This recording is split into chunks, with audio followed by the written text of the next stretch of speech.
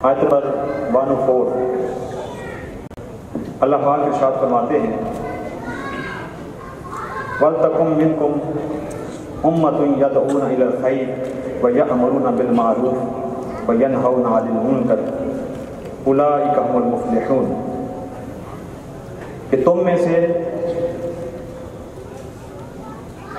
ایسے لوگوں کی ایک جماعت ہونی چاہیے اور ضرور ہونی چاہیے جو لوگوں کو نیکی کی طرف بلائیں اور بھلائی کا حکم دیں اور برائی سے روکیں، اور وہی لوگ کامیاب ہیں۔ اولئک هم المفلحون۔ ایک اور جگہ اللہ پاک نے قرآن مجید میں اشار فرمایا کہ ہر قبیلے میں سے، ہر قبیلے میں سے، ہر خاندان میں سے ایسا گروہ ہونا چاہیے جو اللہ کا دین سیکھے اور واپس اپنی قوم میں جا کر ان کو اللہ سے ڈرائے۔ یہ اللہ کا حکم ہے۔ اور یہ فرض کفایا ہے۔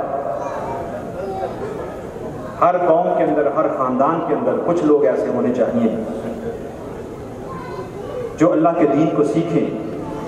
یا تفقہ ہو پھر دین وہ دین کو سیکھیں، اللہ کا حکم ہے۔ اور پھر وہ اپنی قوم کو جا کے اپنے قبیلے کو اسلام کی تبلیغ کریں، اسلام کو سکھائیں۔ ایک لمحہ فکریہ ہے۔ ہمارے شوق کیا ہے ہماری پریورٹیز کیا ہیں؟ ہماری ترجیحات کیا ہیں؟ ہم میں سے کون سوچتا ہے کہ ہمارا بچہ عالم دین بنے، اللہ کے دین کو سیکھے، اللہ کے دین کی تبلیغ کرے، اپنے اوپر عبارت کرے، ہمارے اوپر عبارت کرے، ہمیں دین سکھائے۔ یہ میری ذرا توجہ سے بات سننے والی ہے۔ ہم خود دین کو نہیں سیکھتے اور اپنے بچوں کو دین نہیں سکھاتے۔ ہر بندہ یہ چاہتا ہے میرا بیٹا، میری بیٹی ڈاکٹر بنے، انجینئر بنے، پائلٹ بنے۔ یعنی ہمارا مقصد اسے اچھی جاب دینے کے لیے ہم پڑھاتے ہیں اور خرچ بھی کرتے ہیں، سارا کچھ کرتے ہیں اس کے لیے، تاکہ اس کی زندگی اچھی گزر جائے۔ لیکن اللہ کا یہ حکم کدھر گیا اور یہ کس نے ادا کرنا؟ یہ حکم جو قرآن کا ہے، کیا اس کو ہم ہندوؤں کی طرف چلا دیں کہ وہ کریں یہ کام تو وہ اسلام سیکھیں اور وہ اسلام کی تبلیغ آ کے کریں ہمارے اندر؟ یا کرسچنوں کو دے دیں؟ یا غیر مسلم گورنمنٹس کو دے دیں کہ وہ یہ کام کریں؟ سوال یہ ہے کہ اللہ کو ہم کس کس کے لیے ہے؟ اور ہماری ترجیحات کیا ہے ہمیں سے جو بیٹھے ہوئے ہیں، یہ بھی جو باہر ہیں لوگ، ہم پوری امت مسلمہ کو کہہ رہا ہوں۔ آپ پاکستان میں چلے جائیں دینی مدرسوں کے اندر۔ اللہ ماشاء اللہ کچھ لوگ ہیں۔ ہم یہ نہیں کہتے کبھی بھی کسی قوم میں کبھی بھی خلا نہیں ہوتا بیگ نہیں ہوتا۔ لیکن اکثریت ایسے ہی ہے کہ جو بچوں میں لوگ جاتے ہیں مدرسوں میں پڑھنے کے لیے، بچے وہ ہینڈی کیپ ہوتے ہیں۔ کسی کے بیچارے کے کام نہیں ہے تو اس کو مدرسے میں بھیج دیا۔ کسی کے کان صحیح نہیں ہے آنکھیں صحیح نہیں ہے تو حافظ بنا دے۔ یعنی جو ڈسیبل لوگ ہیں، بچے ہیں، ہم ان کو دین میں ڈالتے ہیں۔ یہ ہمارے ہاں دین کی قدر ہے۔ اللہ اس کے رسول کی قدر ہے۔ کہ ہم اس کے نام پر جو بچہ لگاتے ہیں، وہ ہینڈی کیپ ہوتا ہے تو اس کے نام لگا دیتے ہیں۔ ادروائز کو سوچتا ہی نہیں کہ میرا بچہ حافظ بنے، میرا بچہ عالم بنے۔ اور یہ جو حفظ کا سلسلہ ہے، اس میں بھی ایک لالچ ہے۔ یہ بھی ہماری دین کی خدمت کم ہوتی ہے۔ میں سب کی بات نہیں کرتا، اکثریت کی بات کرتا کہ سنا ہے کہ حدیث پاک میں آتا ہے، حضور نے فرمایا کہ جو حفظ کرے گا بچہ، میں وہ حدیث پڑھوں گا ابھی تھوڑی دیر بعد۔ حضور نے فرمایا کہ جس کا بچہ قرآن حفظ کر جائے گا، اس کے ماں باپ کو اور سات خاندان کے سات افراد کی وہ شفاعت کرے گا اور بخشے جائیں گے اس کے ساتھ یہ حدیث سن لی ہے۔ اس لالچ میں کہ ہم بخشے جائیں۔ بچوں کو ہم حفظ کروا دیتے یہ ہماری کل کمائی۔ ہے ورنہ انیشلی دین کا شوق ہونا اور یہ شوق ہونا کہ ہمارے بچے دیندار بنے ہمارے بچے عالم بنے اسکالر بنے اور دین سکھائیں اور سیکھیں اور ہمیں سکھائیں اور قوم کو سکھائیں۔ یہ بہت کم ہے، بہت کم ہے، بہت کم ہے۔ اور اتنا کم ہے کہ شرمناک حد تک۔ کم ہم میں سے کوئی اپنے بچے کو اسکالر نہیں بنا رہا اس کی وجہ کیا ہے؟ ہمیں تو کئی وجوہات سمجھ آتی ہیں۔ آپ کو بھی کوئی سمجھ آئی کبھی وجہ کے کیوں ہمارے اندر یہ شوق پیدا نہیں ہوتا؟ یہ نہیں ہوگا کہ دین پڑے گا تو بھوکا مر جائے گا۔ اللہ اس کو بھی دے گا۔ لیکن ہمارے اندر یہ شوق کیوں نہیں؟ ہمارے اندر یہ شوق ہونا چاہیے۔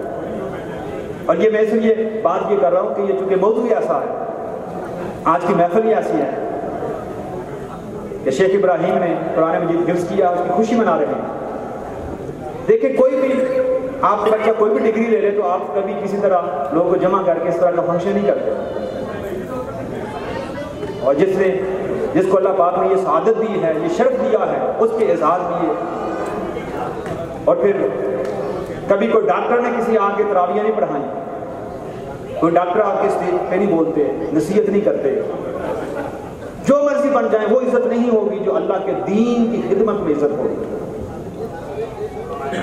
تو جب عزت ہے ادھر اللہ پاک نے قرآن مجید میں واضح ارشاد ان العزت للہ ولرسولہ وللمؤمنین عزت اللہ کے پاس ہے، اس کے رسول کے لیے ہے اور پھر ان کے دونوں کے صدقے مومنوں کے لیے عزت ہم سمجھتے ہیں کوئی ایم پی اے بنے، ایم این اے بنے، کوئی تھانے دار بن جائے، کوئی سیاسی عہدہ مل جائے، پھر عزت ہوگی۔ یہ آپ کو کس نے کہا؟ یہ کہاں سے لیا ہم نے؟ یہ صرف دنیا داری کی سوچ ہے۔ اللہ اس کے رسول کی سوچ نہیں ہے۔ ہم نے بڑے بڑے دیکھے ہیں کہ جتنے بڑے عہدے پر ہیں اتنے ذلیل ہوتے ہیں۔ دیکھیں آپ نے بھی کہ نہیں؟ کیوں بھائی؟ عہدہ سب سے بڑا ہے اور ذلت بھی سب سے بڑی ہے۔ آپ نے دیکھے ہوں گے، ہم نے بھی دیکھے اور دیکھ رہے ہیں۔ یزید سے بڑا عہدہ اس وقت میں کس کے پاس ہوگا؟ بادشاہ تھا مگر اس وقت سے لانتیں پڑ رہی ہیں اور قیامت تک لانتیں پڑتی رہیں گی۔ آج بھی آپ کے سامنے اتنا پیسہ اتنا پیسہ کہ ان کو خود ہی نہیں پتا کتنا پیسہ ہے، مگر ذلت کتنی ہے، وہ بھی ان کو نہیں پتا کتنی ہے۔ تو نہ عزت پیسے میں ہے، نہ عزت عہدے میں ہے۔ عزت اللہ اور اس کے رسول کے قدموں میں۔ ہے عزت اللہ کے پاس ہے۔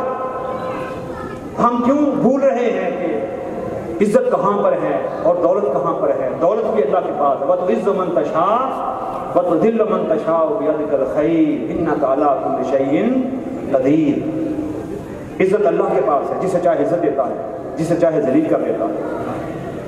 جسے چاہے تخت پر بیٹھے ہوئے کو ذلیل کر دیتا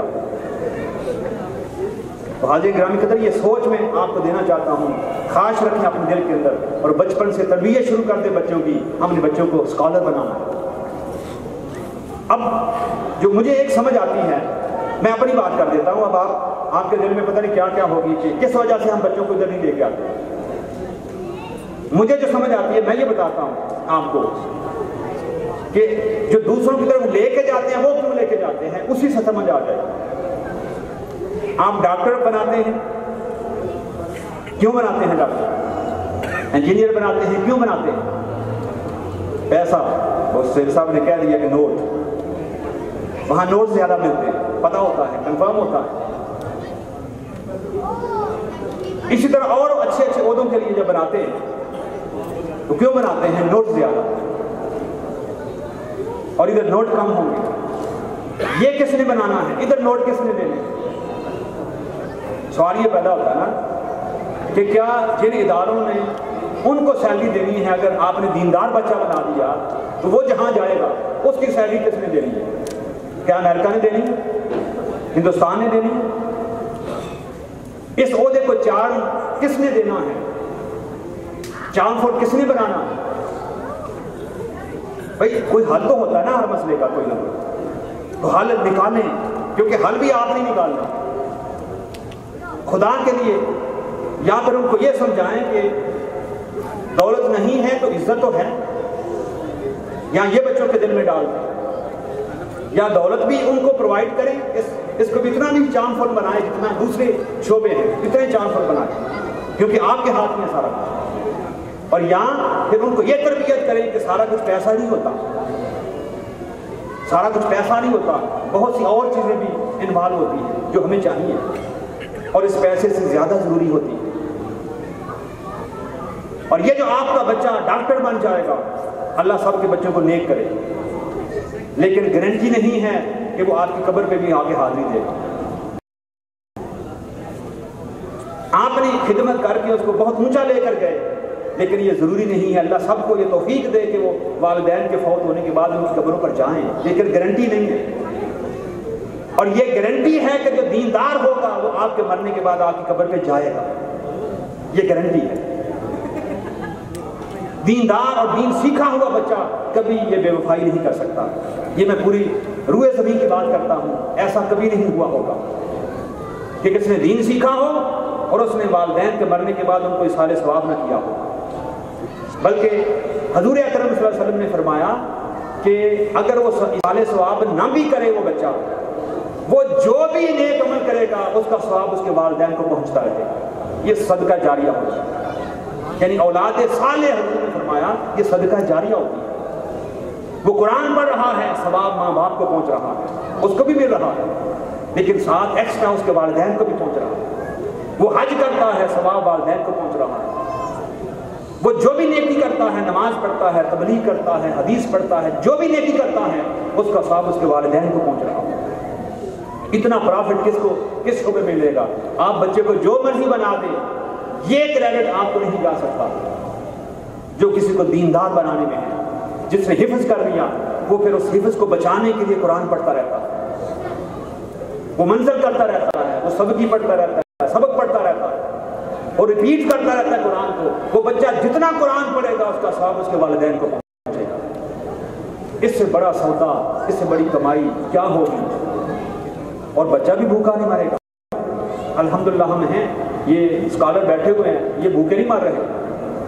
اللہ نے عزت بھی دی ہے، اللہ نے سب کچھ دیا ہوا یہ سوچ آج کی محفل میں دینا چاہتا ہوں کہ خدا کے لیے، خدا کے لیے یہ دین، نبی کا جو دین ہے، میں بات ختم کرتا ہوں اس واقعے کے اوپر کہ حضور کے ایک صحابی تھے۔ ان کا نام تھا سالبہ۔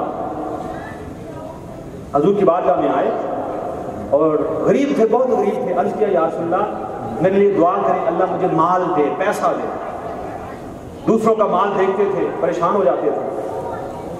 بہت غریب تھے تو عرض کیا، یا رسول اللہ دعا کریں، مجھے اللہ پاک مال عطا کرے امیر ہو جاؤں میں۔ بھی آقا علیہ السلام نے فرمایا سالبہ یہ نہ مانگو، تمہارے لیے اچھا نہیں ہے۔ یہ دولت تمہارے لیے اچھی نہیں یہ فقیری اچھی ہے تمہارے لیے۔ عرض کیا، نہیں، یا رسول اللہ، میرے لیے دعا کریں۔ حضور نے فرمایا، اگر تو کہتا ہے، میں تیرے لیے جنت کی دعا کر دیتا ہوں۔ یہ بڑی توجہ سننے والی میری بہن بھی توجہ سنے۔ میں نے جو پہلے بات کی تھی نا، ہم حضور کی اللہ کی بارگاہ میں کس اولاد کو بھیجتے ہیں دین سیکھنے کے لیے۔ اللہ کو کون سا بچہ دیتے ہیں؟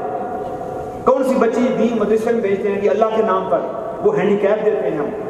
جو ہلکا مال ہے وہ خدا کے نام پر اور اچھا اچھا یونیورسٹی کے اندر، کالج اور اسکولوں کے اندر۔ دعا کی، دعا کریں یا رسول اللہ۔ فرمایا، بھائی، میں آپ کے لیے جنت کی دعا کر دیتا ہوں آخر کی دعا کر دیتا ہوں۔ یا چلو وہ بھی کر دیں، لیکن یہ یہ ضرور کرے میرے لیے۔ جان نہیں چھوڑے تھے آقا علیہ السلام نے ہاتھ اڑائے اور دعا کر دی۔ اے اللہ سالبہ کے مال میں برکت ڈال۔ پھر برکت ہوئی۔ ایک بکری تھی، اس نے چار بچے دیے۔ آگے مال بڑا اب یہ بکریاں جلدی جلدی بچے دیتی ہیں، وہ چار نے پھر آگے، چار دیے پھر سولہ نے پھر آگے۔ اس طرح چلتے چلتے چند سالوں کے اندر، دو تین سالوں کے اندر وہ جو اس نے بنایا تھا نا بکریوں کے لیے، احاطہ، وہ چھوٹا پڑ گیا۔ اب وہ ہر نماز حضور کے ساتھ مسجد نبی میں تھے۔ اور ایک آدھ بکری تھی، اس کو سنبھال لیتے تھے، نہیں تو بیوی سنبھال لیتی تھی۔ ساری نمازیں حضور کے ساتھ۔ جب بکریاں بڑھ گئی تو ان میں انوالو ہو گئے، مصروف ہو گئے۔ اور اتنی بڑھ گئی دو تین سالوں کے اندر کہ انہوں نے وہ جگہ چھوٹی پڑ گئی اور باہر دور جا کر ایک بڑا ہاتھا لے لیا۔ اور جب دور گئے تو وہ روزانہ کی پانچوں نمازیں مسجد نبی سے چھوٹ گئی بس جمعے کے دن آ جاتے ہیں، وہ بھی پیچھے دھیان پیچھے ہوتا کہ کوئی بکری بیمار ہے، کوئی یہ نہ ہو، کوئی وہ نہ ہو، کوئی کھا نہ جائے۔ پھر کیا ہوا کہ اور تین سال سال کے بعد وہ بھی بھر گیا اور باہر جنگل میں لیا ہاتھا بہت بڑا خود ہی کور کر لیا اور اس کے اندر ہزاروں بکریاں ہو گئی جب ہزاروں بکریاں ہو گئی اب جمعہ بھی گیا۔ مسجد نبی میں حضور کے پیچھے جمعہ بھی گیا دیکھیں خیر کس طرح روٹ رہی ہے، دولت آ رہی ہے تو بھلائی جا رہی ہے۔ جو جو مال بڑھتا رہا، انوالو ہوتے گئے، بکریاں بیمار ہیں، ان کا علاج کر رہے ہیں۔ بندے رکھے ہوئے ہیں، بندوں کو واچ کر رہے ہیں، بکریوں کو واچ کر رہے ہیں۔ ہر وقت بکریوں کے ساتھ بکری بنے ہوئے۔ جمعہ بھی گیا۔ عید والے دن کبھی سال بعد آ جانا۔ اور عید پڑھ لینی حضور کے پیچھے بندوں کو اور پھر بھاگ جانا۔ کیا ہوا؟ زکوٰۃ کا حکم آ گیا۔ اور آقا علیہ السلام نے جب صحابہ کو زکوٰۃ کلیکشن کے لیے بھیجا تو فرمایا کہ آتے ہوئے فلاں قبیلے سے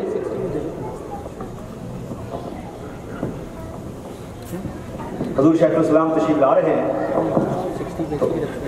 اس کو میں پھر اینڈ پہ ضرور یہ سننے خوش آمدید کہتے ہیں۔ اور ہماری روحیں، ہمارے دل، ہماری آنکھیں سر راہ ہیں اور دل کی گہرائی سے خوش آمدید کہتے ہیں۔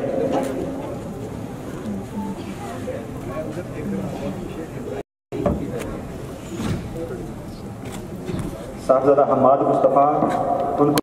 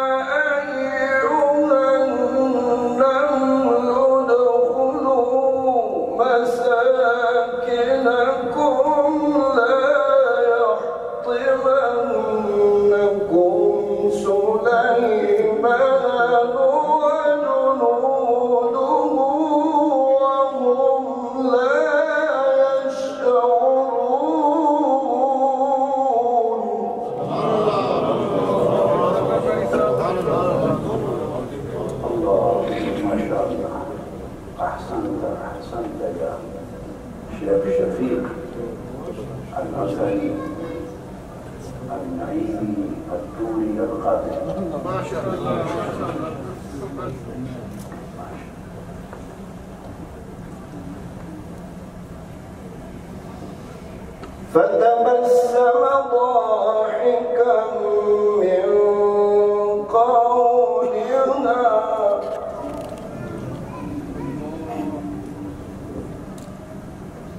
فتبسم.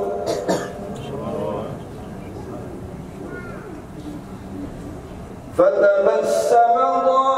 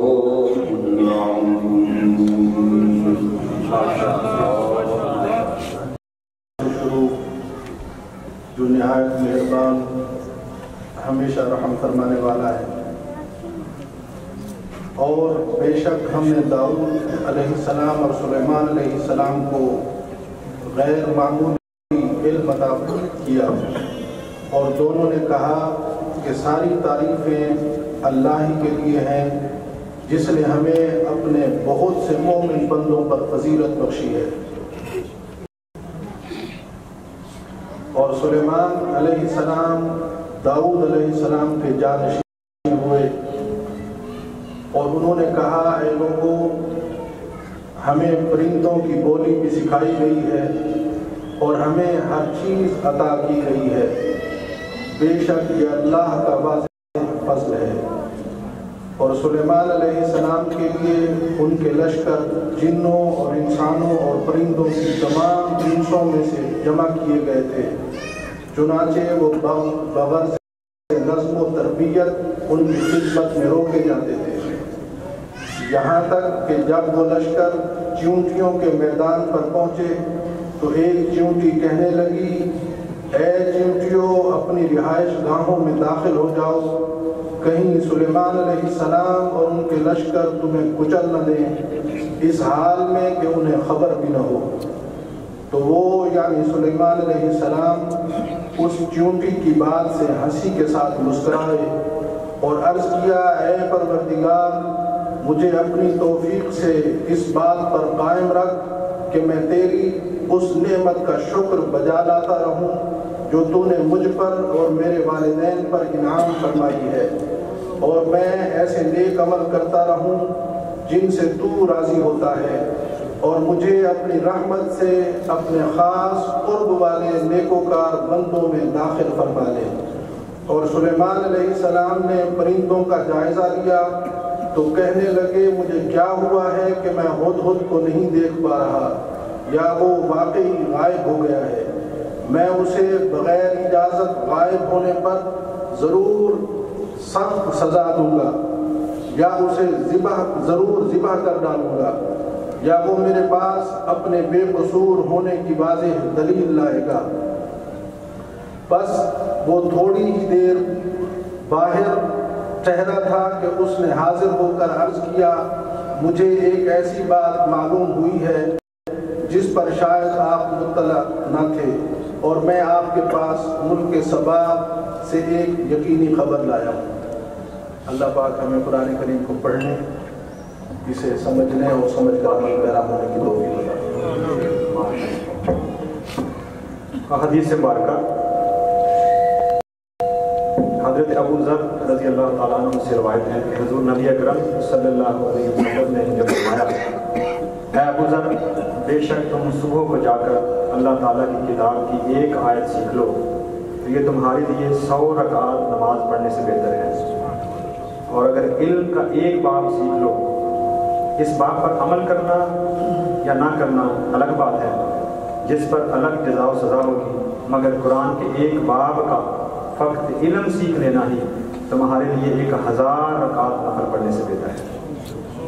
اسی طرح ایک اور حدیث پاک میں حضرت عبداللہ بن بریدہ اسلمی رضی اللہ تعالیٰ عنہ اپنے والد سے روایت کرتے ہیں۔ انہوں نے فرمایا، حضور اکرم صلی اللہ علیہ وسلم نے ارشاد فرمایا، جس نے قرآن پڑھا، اس کا علم حاصل کیا اور اس پر عمل پیرا ہوا، اسے قیامت کے دن نور کا ایک تاج پہنایا جائے گا، جس کی روشنی سورج کی روشنی کی طرح ہوگی اور اس کے والدین کو دو ایسے ہلے لباس پہنائے جائیں گے۔ کہ ساری دنیا بھی ان کی قیمت کے برابر نہ ہوگی تو وہ عرض کریں گے، ہمیں یہ لباس کس وجہ سے پہنایا گیا ہے؟ تو انہیں جواب دیا جائے گا، اس لیے کہ تمہارے بیٹے نے قرآن پڑھا اور اس پر عمل کیا تھا۔ حضور میں ایک چھوٹا سا موضوع شروع کیا تھا، تو اس کے آخر میں پہنچا ہوا تھا۔ تو میں چاہتا ہوں ایک دو منٹ کے اندر اس میں کلوز کر دوں کیونکہ بہت سے لوگ پھر دوبارہ ریفر میں نہیں آتے۔ تو وہ اس آیت، سورہ توبہ کی آیت ہے۔ ماں کا المؤمنون لیان فرو کا فتن فلولا نفر من كل فرقة منهم طائفة ليتفقهوا في الدين اللہ تعالیٰ فرماتے ہیں کہ سارے مومنوں کے لیے ایسا تو نہیں ہے کہ وہ سب نکل آئے، لیکن ایسا کیوں نہیں ہے کہ ہر گروہ میں سے، ہر خاندان میں سے، ہر قبیلے میں سے ایک گروہ نکلے تاکہ وہ اللہ کا دین سیکھے۔ ولیون دیرو قوم اور واپس آ کر اپنی قوم کو وہ دین سکھائیں اور اللہ کے پیغام سے ڈرائیں۔ اذا راجع الیہم لعلہم یحذرون تاکہ ان کی پوری قوم بچی رہے۔ یہ آیت ہے سورہ توبہ کی آیت نمبر 122 اور جو واقعہ میں بیان کر رہا تھا وہ آخر میں پہنچا ہوا تھا حضرت سالبہ کا کہ جب بہت زیادہ مال مل گیا اور بہت زیادہ بکریاں مل گئیں اور وہ جنگل میں چلے گئے، اب ساری نمازیں جو حضور اکرم صلی اللہ علیہ وسلم کے پیچھے پڑھتے تھے جمعہ پڑھتے تھے، وہ بھی سب ختم ہو گئی تو جو جو دولت آئی دین ختم ہوتا گیا اور ساری برکتیں سمٹتی گئی۔ پھر آ کر جب زکوٰۃ کا حکم آیا آکل صلی اللہ علیہ وسلم نے زکوٰۃ کلیکٹر جب بھیجے تو فرمایا کہ واپسی پر سالبہ سے بھی زکوٰۃ کی بکریاں لیتے آنا۔ جب صحابہ کرام وہاں پر پہنچے، اب جو جو مال بڑھتا ہے تو مال سے محبت بھی بڑھتی ہے۔ اب جو کمزور مال ہوتا نا وہ کمزور مال، کمزور بکریاں، مریض سی بکریاں، بیمار بکریاں انہوں نے جمع کر کے جتنی بنتی تھی زکات وہ صحابہ کرام کو دے دی قبلہ ذوالفقار کانپور جیسی تو جب دے دی تو آنکل السلام کی بات میں بکریاں پیش ہوئی تو سرکار نے پوچھا کہ یہ ساری بکریاں ایسی تھیں عرض کیا، یا رسول اللہ، نہیں، بکریاں تو بہت اچھی اچھی تھیں۔ انہوں نے یہ چن کے لیے، اللہ کے نام پر، اللہ کے لیے۔ تو بات میں نے یہاں شروع کی تھی کہ ہم دین سیکھنے کے لیے بچوں کو بھیجتے ہیں نا۔ جو ہماری سوسائٹی کے ہینڈی کیپ بچے ہیں جو کمزور بچے ہیں ہم ان کو اللہ کے نام پر دیتے ہیں۔ اور جو اچھے اچھے دماغ ہوتے ہیں، ان کو ہم ڈاکٹر، انجینئر یہ اور وہ بناتے ہیں۔ تو میں نے اس کے مثال کے طور پر یہ واقعہ بیان کیا تھا۔ جب حضور کی بات میں وہ سارا کچھ پہنچا، آپ نے جواب دیا، فرمایا، اس کو بکریاں واپس لے جاؤ اور اس کو واپس کر دو، کیونکہ اللہ اور اس کے رسول کو اس کے مال کی ضرورت نہیں ہے۔ رد ہو گیا مال، جب واپس پہنچا۔ انہیں کوئی فکر نہیں تھی، وہ مال کی محبت میں مگن تھے، بکریاں رکھ لی جب اگلا سال ہوا، اس کے بعد آکر السلام کا مثال ہو گیا۔ اور جب سیدنا ابو بکر صدیق رضی اللہ تعالیٰ کا دور آیا، تو وہ بکریاں لے کے پھر آئے۔ اب اچھی اچھی بکریاں لے کے آئے کہ میری بکریاں رد ہو گئی تھی۔ ابو بکر صدیق رضی اللہ تعالیٰ نے جب پیش ہوئی بکریاں، تو وہ سارا ماجرا ان کی آنکھوں کے سامنے تھا کہ حضور نے مال قبول نہیں کیا۔ تو آپ ناراض ہوئے فرمایا کہ اپنی بکریاں واپس لے جا، جس کی بکریاں اللہ اس کے رسول نے قبول نہیں کی۔ ابو بکر کیسے قبول کر سکتا وہ بکریاں واپس کر دی گئی۔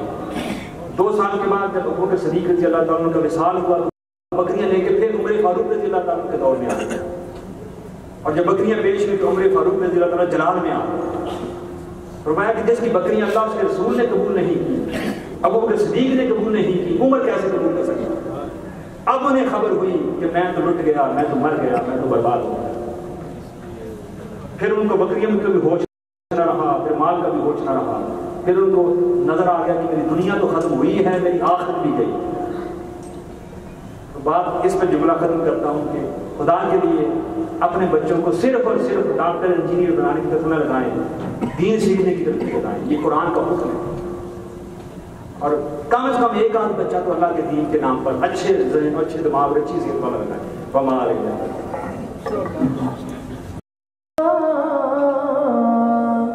یا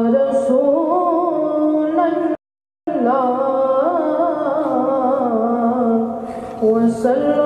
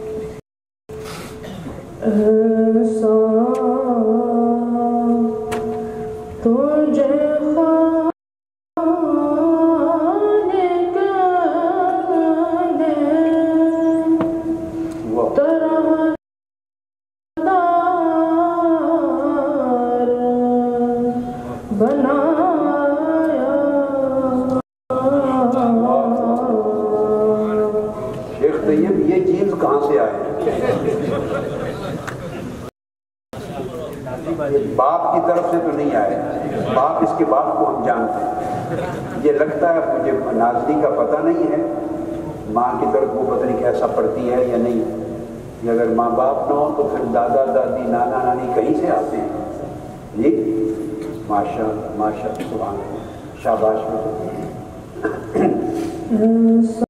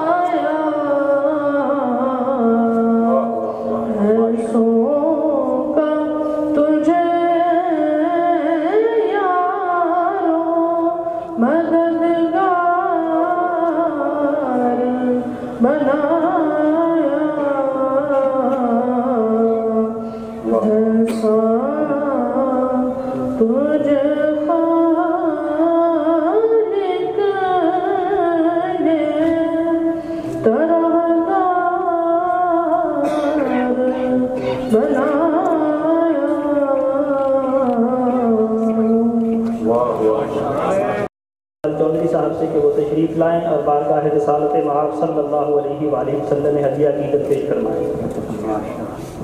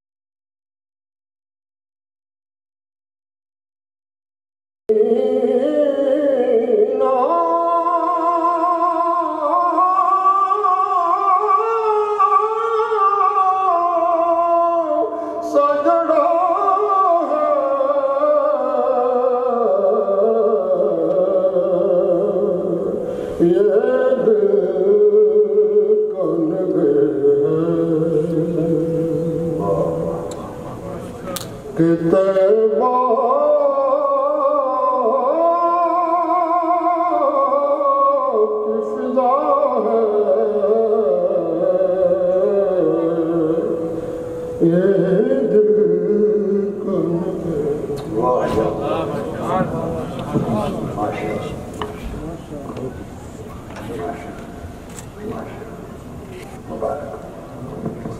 مکرم، منہاج القرآن انٹرنیشنل کینیڈا کے اس سینٹر پر جامع المصطفیٰ کے اندر محترم علامہ شیخ محمد احمد آوان صاحب کی نگرانی میں محترم ابراہیم شیخ صاحب نے قرآن پاک حفظ مکمل کیا ہے اور آج وہ اپنا آخری سبق حضور سیدی شیخ الاسلام پروفیسر ڈاکٹر محمد طاہر القادری مداز العلی کو سنائیں گے۔ تو میں دعوت دوں گا محترم ابراہیم شیخ صاحب سے کہ وہ تشریف لائیں اور اپنا آخری سبق جو ہے وہ پڑھ کر سنائیں۔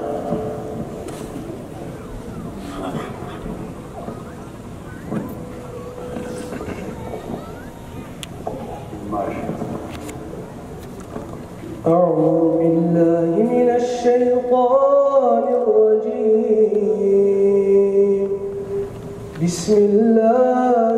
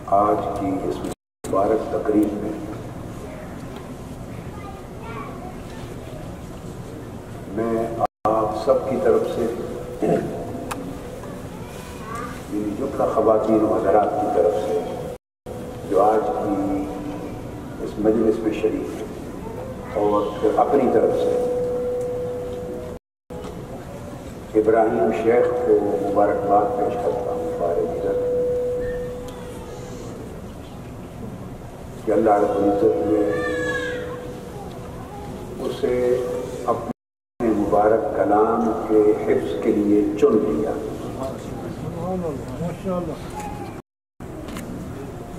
اور اس کو یہ توفیق عطا فرمائی کہ وہ قرآن مجید کو اپنے سینے میں محفوظ کر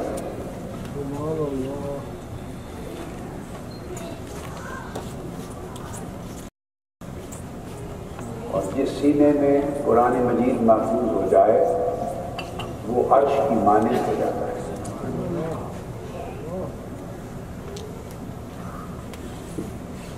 تو وہ صد بار لائے کے مبارکباد ہے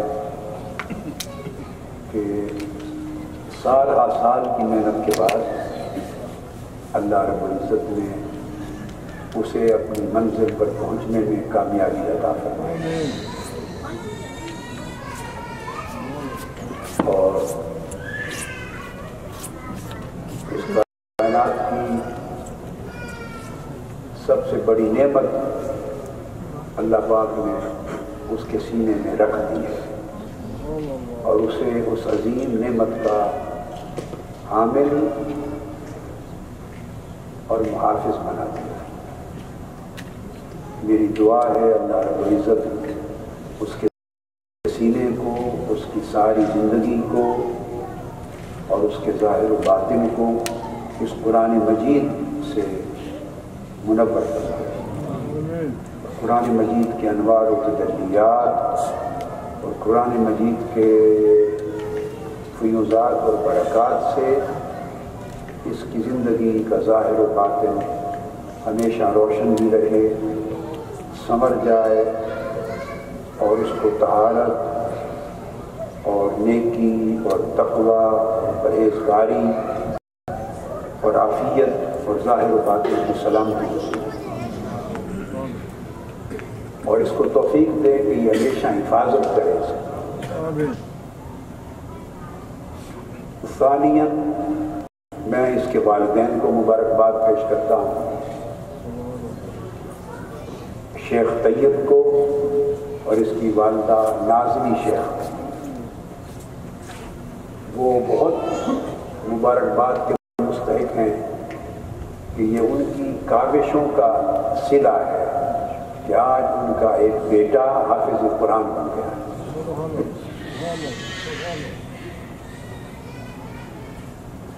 یعنی حافظ قرآن یہ ہونا۔ یہ سب سے پہلے اللہ رب العزت کی شان ہے۔ اللہ قرآن کا، اللہ پاک کا کلام ہے قرآن۔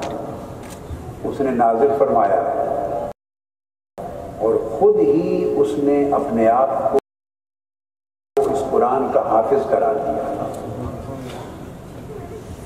یہ ٹائٹل ارشاد فرمایا قرآن مجید میں، اعوذ باللہ من الشیطان الرجیم۔ انا نحن نزلنا الذکر و انا له لحافظون۔ بے شک ہم نے ہی اس قرآن کو، اس ذکر کو نازل فرمایا ہے اور ہم ہی اس کے حافظ ہیں۔ حافظون۔ ہم ہی اس کی حفاظت فرمانے والے ہیں۔ اب اتنی بڑی عظیم نعمت ہے کہ قرآن مجید کی حفاظت فرمانے والا ہونا، جس کو اللہ پاک نے خود قرآن مجید میں اپنی ذات پاک کی نسبت سے لحافظون، حافظ کا لفظ استعمال فرمایا۔ اللہ پاک نے اپنی اس صفت کی ایک تجلی شیخ طیب اور نازنی شیخ کے بیٹے ابراہیم کو عطا کر۔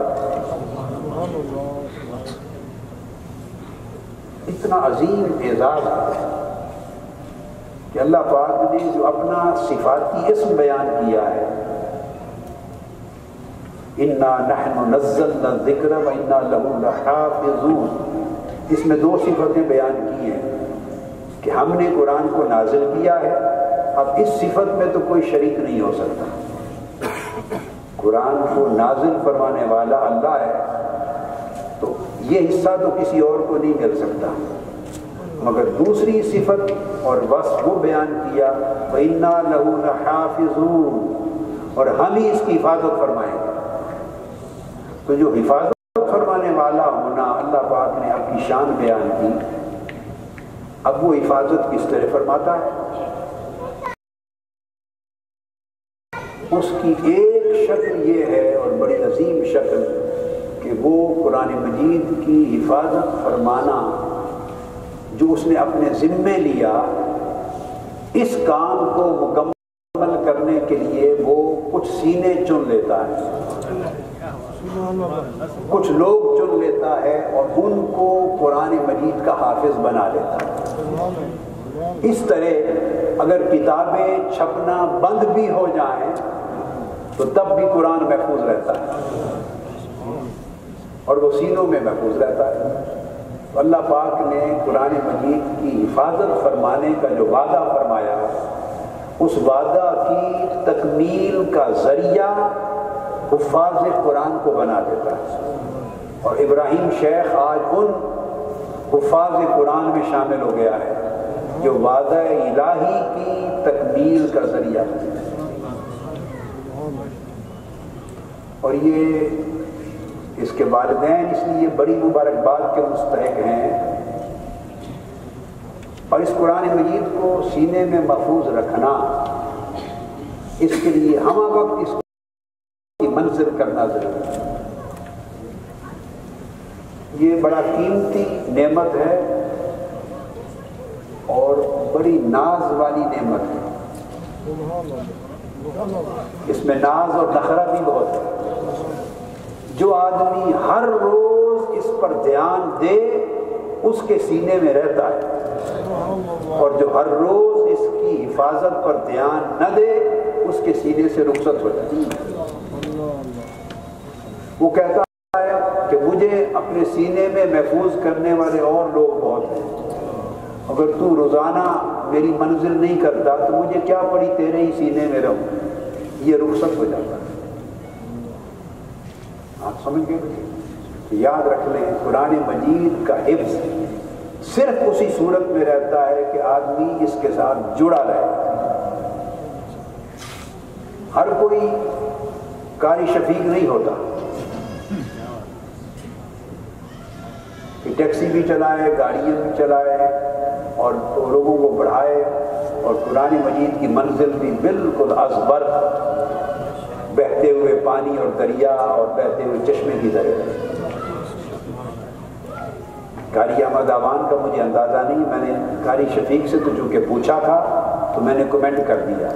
قاری احمد آوان کو میں نے کبھی پوچھا نہیں، مگر یہ کہ منزل کرنی پڑتی ہے ہر روز۔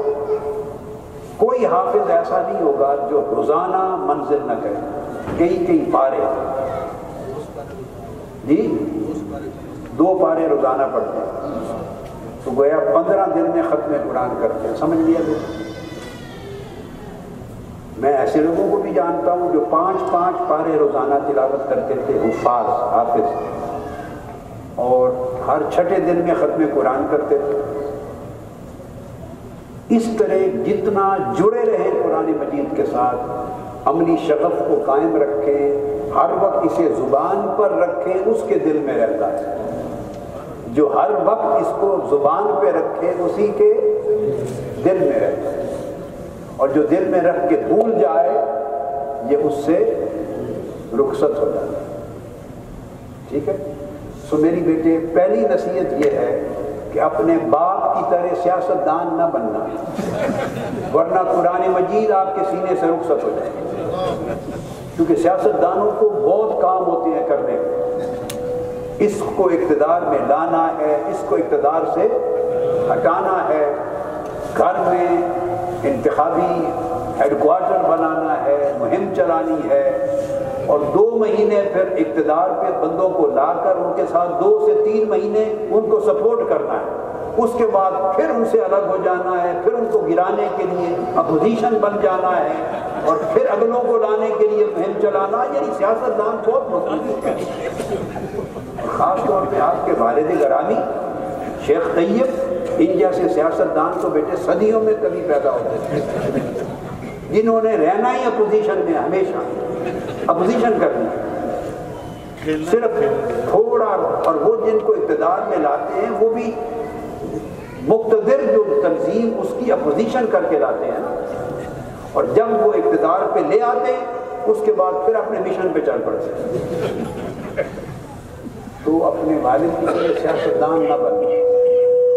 ہاتھ پر اور اونچا۔ شاباش تاکہ دل بھی بیٹے دماغ بھی، یہ بیٹے میں شیخ طیب سے یہ باتیں، جس کے ساتھ میں ایسی باتیں کروں، سمجھا کروں، میں اس سے پیار کرتا ہوں۔ دیکھو نا، میں یہ باتیں تان اور تنقید کے طور پہ نہیں کرتا آپ نے زندگی میں دیکھا، میں تان تنقید کرتا ہی نہیں۔ آپ سمجھ گئے نا؟ تو یہ میں میرے پیار کا اظہار ہوتا ہے۔ تنقید میں صرف ان پہ کرتا ہوں جو اللہ رسول کے دشمن ہیں یا انسانیت کے دشمن ہیں۔ اللہ رسول کے دشمن ہیں، دین کے دشمن ہیں، انسانیت کے دشمن ہیں، امانت اور دیانت کے دشمن ہیں، ملک اور قوم اور وطن کے دشمن ہیں، میں تنقید ان پہ کرتا ہوں۔ باقی کسی پر کوئی مہا سر سے پاؤں تک گناہ کے سمندر میں بھی ڈوبا ہوا ہو، اس پہ بھی تنقید نہیں کرتا۔ اس سے بھی پیار کرتا ہوں، تاکہ راہ ہدایت پر تو یہ جو ایسی چیزیں ہوتی ہیں، یہ کوٹ کرنے کے لیے نہیں کہ آپ کہیں کہ شیخ طیب کو یہ کہا تھا۔ یہ بات یہ میرے پیار کا اظہار ہوتا ہے۔ لیکن ایٹ دا سیم ٹائم نصیحت بھی ہوتی ہے۔ اس لیے ہاتھ کھڑا کروایا سیاست نہیں کرنی، حفاظت کرنی۔ سیاست نہیں کرنی، قرآن کی حفاظت کرنی۔ تو شیخ طیب اور نازلی شیخ بھی مبارکباد کے مستحق ہیں۔ اس لیے آکر اسلام نے فرمایا کہ قیامت کے دن بھی اور جنت میں والدین کو بھی نور کا تاج، سونے کا اور نور کا تاج پہنایا جائے گا اب یہ بھی تاجدار ہو گئے۔ یہ آخرت میں ان کو تاج ملے گا تاج والے بن بیٹے کے حافظ قرآن ہونے کی وجہ سے۔ اور خدا نہ خواستہ اگر آپ محفوظ نہ رکھ سکے، ان غریبوں کے تاج بھی چل جائیں شیخ طیب ہاتھ ملتا رہ جائے گا، میرا تاج کہاں گیا؟ سر پہ۔ تو اب اپنا تاج بھی رکھے اور والدین کا تاج بھی رکھے۔ اور پھر بیٹے، جب حفظ قرآن کرتا ہے کوئی اور اس قرآن کی حرمت کرتا ہے، قرآن کی تقریب کرتا ہے، اس پر عمل کرتا ہے، اس کو پڑھتا ہے، تلاوت کرتا ہے، قرآن سے محبت کرتا ہے اور محبت کے ساتھ حفاظت کرتا ہے، تو اس کو اپنے خاندان اور خاندان سے باہر کتنے لوگوں کی شفاعت کا بھی حق دے دیا ہے نہ صرف یہ کہ خود بخشا جائے گا، بلکہ اور لوگوں کی بخشش کروائے گا۔ شفاعت کا رائٹ مل رہا ہے۔ آپ سمجھ گئے بات؟ تو قرآن مجید خود بھی شفاعت کرنے والا ہے، شفیع قرآن مجید۔ اندازہ کر لیں کہ شفاعت کرنے والا جس کے سینے میں محفوظ ہو جائے، تو اللہ پاک اس کو شفاعت کا حق اور کیوں نہیں عطا تو حافظ قرآن اپنی فیملی میں اور اپنے احباب میں کئی لوگوں کی شفاعت کر کے بخشوا کے لے جائے اللہ پاک نے بیٹے، اتنی بڑی نعمت اور سعادت دی ہے آپ کو اور آپ کے والدین کو کہ اس سے کبھی معلومی نہیں ہونی چاہیے ثالثاً، پھر یہ ساری فیملی بہن بھائی مبارکباد کے مستحق ہو گئے کہ ان کے گھر ایک حافظ قرآن ہو گیا۔ اور رابعاً، ان کے استاد۔ قاری احمد اوان اور ساتھ قاری شفیق صاحب سے بھی ہیلپ لیتے رہے ہوں گے، وہ تو ہر ایک کو پڑھاتے رہتے ہیں۔ تو قاری احمد اوان اور قاری شفیق۔ ان کو مبارکباد ہے جس استاد نے قرآن مجید حفظ کروانے میں مدد کی اور حفظ کروایا، پڑھایا، حفظ کروایا، آج اس منزل تک پہنچایا۔ ان کو بھی اس کا ملے گا اور شفاعت نصیب ہوگی۔ اسی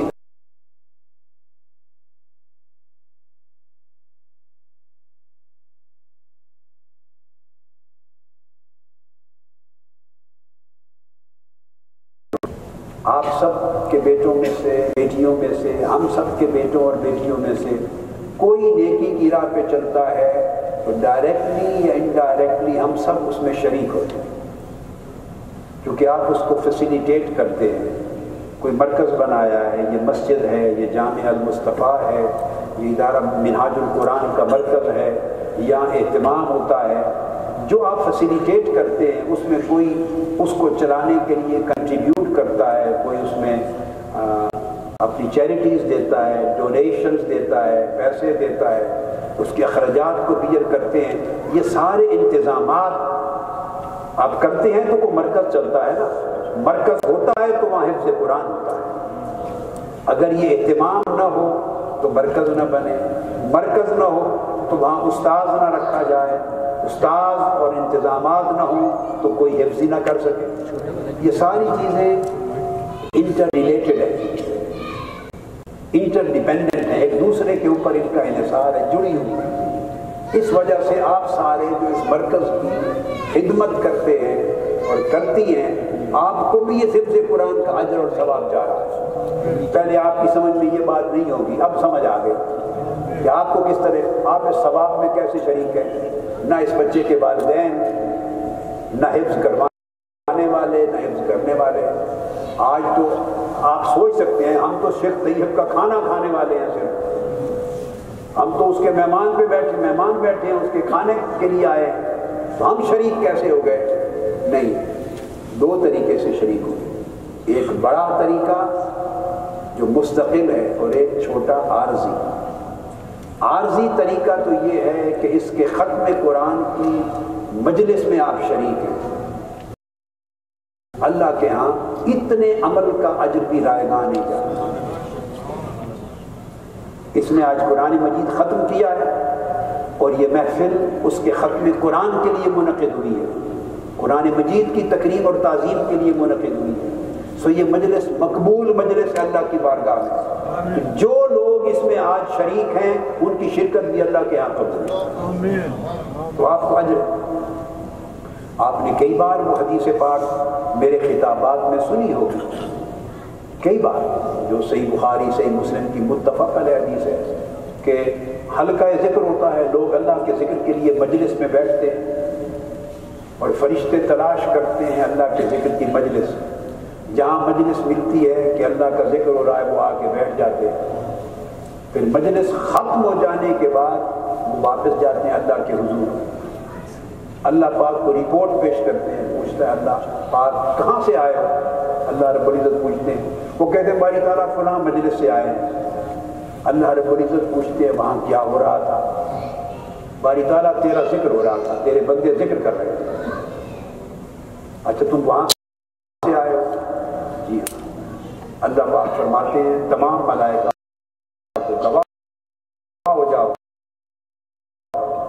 جو جو لوگ اس مجلس میں شریک تھے میں نے سب کو بخش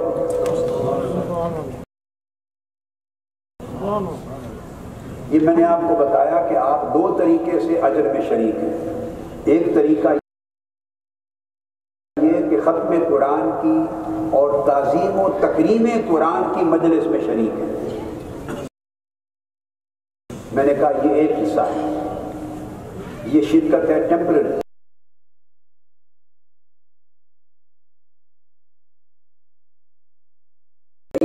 ہونا۔ جس میں آپ نے کچھ خرچ نہیں کیا۔ ہاں انہیں وہ خرچ بھی کیا ہے۔ گھر سے آئی ہے۔ وقت خرچ کیا ہے۔ اپنی گاڑی کا گیس خرچ کی ہے۔ کچھ کام کاج چھوڑ کے آئے ہوں گے اور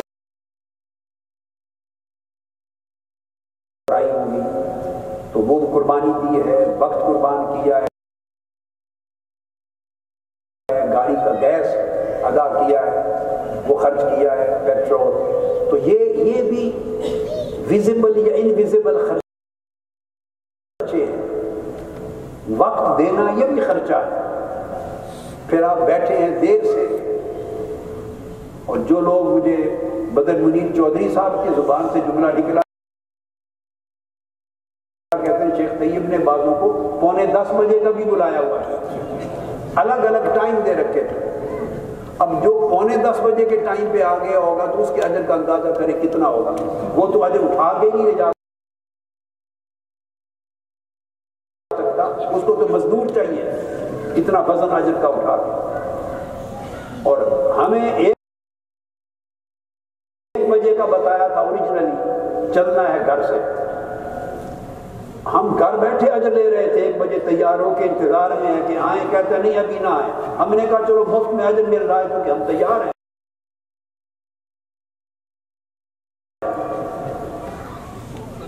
تو جو لوگ ایک بجے پہنچ گئے، ان کے اجر کا اندازہ کریں۔ تو آتے گئے، تو ہر ایک کو اجر ملے نا، کام زیادہ۔ اللہ پاک فرماتے ہیں، گواہ ہو جاؤ، جو اس مجلس میں بیٹھے تھے سب کو بخش دیا۔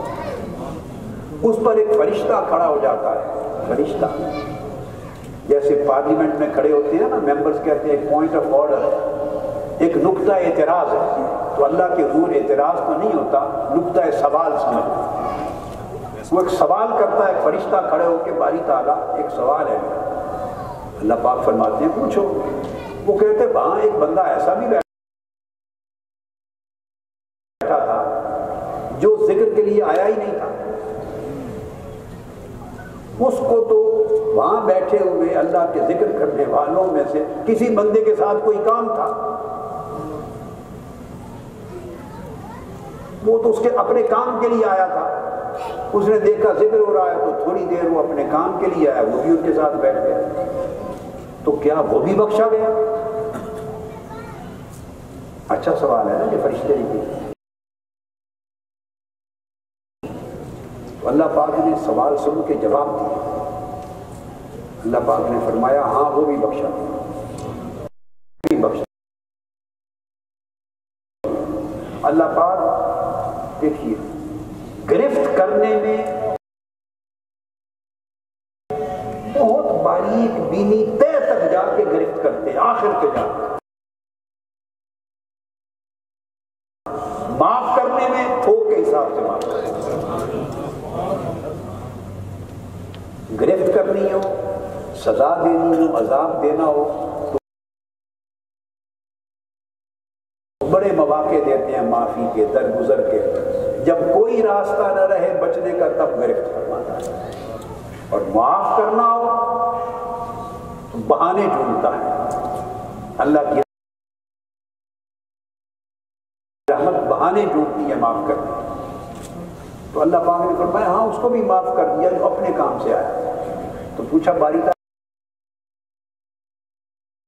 تعالیٰ اسے کیوں معاف کیا گیا؟ تو اللہ رب العزت نے ارشاد فرمایا، اس لیے کہ وہ ان لوگوں کے ساتھ بیٹھا کہ جن کے ساتھ بیٹھنے والے بھی معلوم نہیں جاتے۔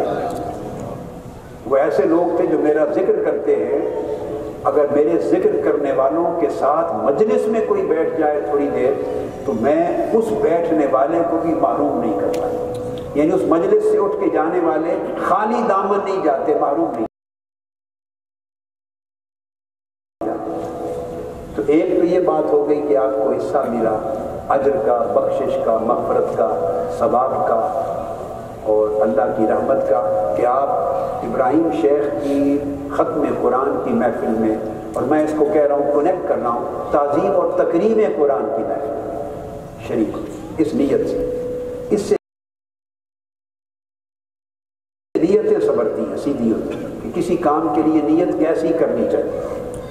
ایک، اور دوسرا سبب میں نے پہلے ایکسپلین کر دیا پرماننٹ کہ آپ حصہ حصہ دار ہیں، اس مرکز کو بنانے اور چلانے میں۔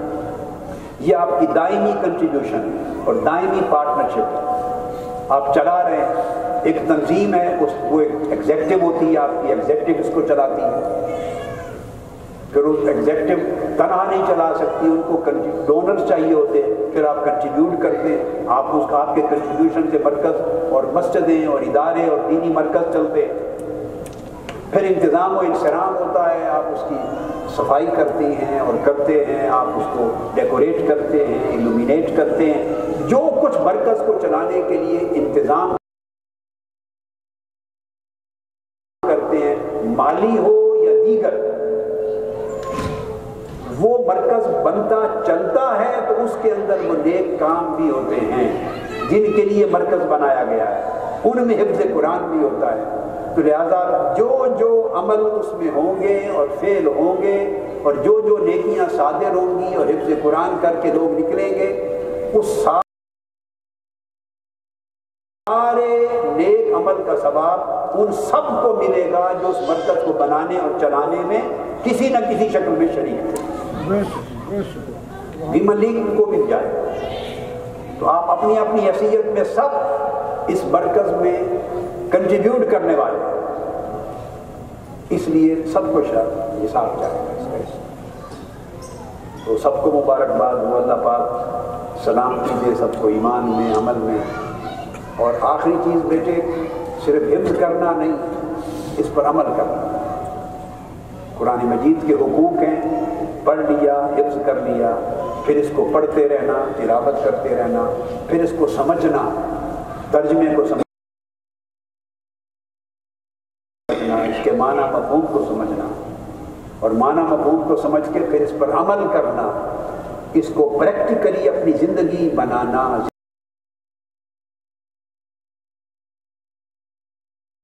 زندگی اس کے مطابق گزارنا اور پھر اس کے پیغام کو، دعوت کو، تعلیم کو آگے پہنچانا۔ یہ پانچ سات حق ہیں قرآن۔